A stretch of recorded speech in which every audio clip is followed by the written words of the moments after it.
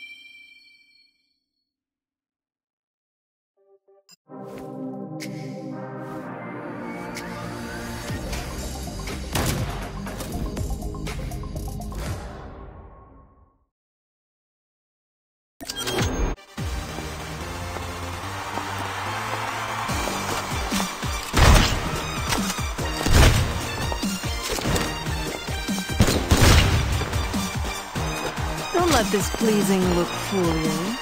I'm deadlier than I appear.